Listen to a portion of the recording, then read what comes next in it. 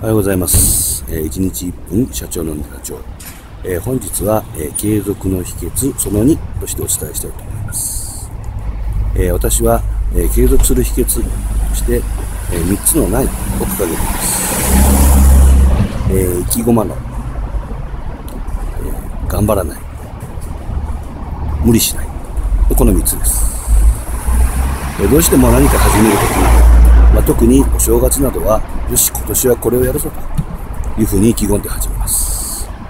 え意気込んで始めると、最初の分というか、1日目、2日目はすごい作品を作ってしまいます。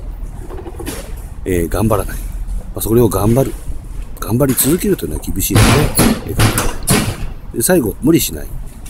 えー前回お話ししましたけど、継続して途中でできなくなった時には、それはそれで諦めて、また、えー次の日から再開するということを繰り返すことで、え継続することができます。